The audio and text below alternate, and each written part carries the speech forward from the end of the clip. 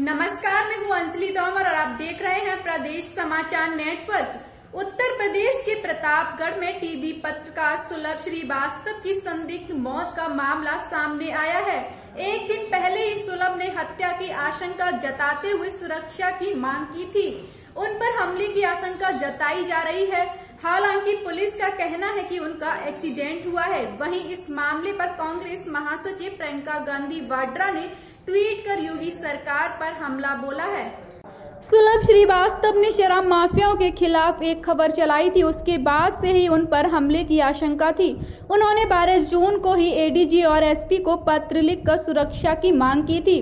उन्होंने चिट्ठी में अपनी जान को खतरा बताया था। हत्या की आशंका जताने के बाद अगले ही दिन 13 जून को सुलभ कोतवाली के कटरा रोड पर ईंट भट्टे के पास अर्धनग्न अवस्था में मिले थे। उनके सिर पर चोट के गहरे निशान थे। एटीएस ने बताया कि घटना तब हुई जब सुलभ असलहा फैक्ट्री पर कार्यवाही की खबर करके लौट रहे थे।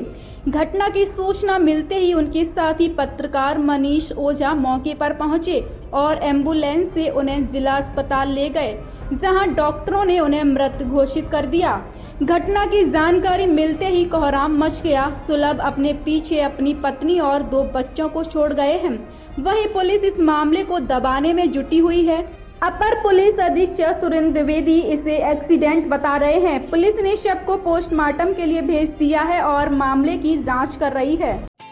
ऐसे ही वीडियोस देखने के लिए सब्सक्राइब करें प्रदेश समाचार नेटवर्क और लेटेस्ट वीडियोस के नोटिफिकेशन के लिए बेल आइकन दबाना ना भूलें।